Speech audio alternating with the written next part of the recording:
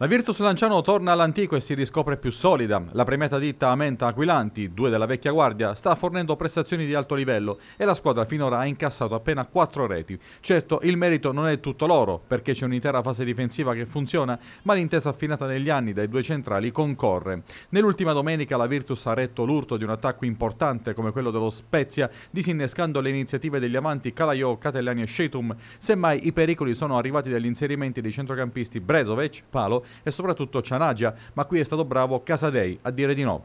Proprio il portiere è un'altra nota lieta. Quest'estate doveva essere il terzo della gerarchia di D'Aversa, ma il mancato arrivo di Cragno e l'infortunio di Aridità hanno regalato a Casadei un'opportunità che si sta ben giocando. L'infortunio di Aridità non è grave, ma il titolare può rientrare senza fretta e Casadei potrebbe difendere la porta della Virtus anche domenica prossima a Bari. Le note dolenti arrivano dall'attacco, appena quattro le reti segnate. D'Aversa smorza le polemiche, ma la sensazione è che la squadra crei poco rispetto alla mole di gioco ampia che viene sviluppata.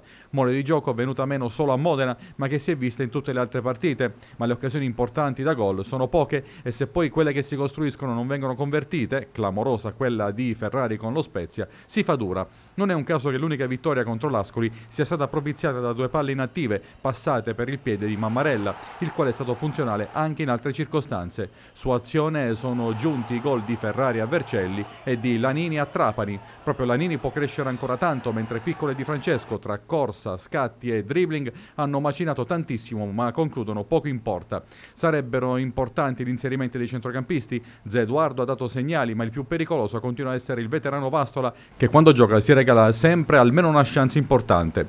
Aspetti eh, dunque salienti su cui D'Aversa può lavorare per far salire di livello i risultati della squadra.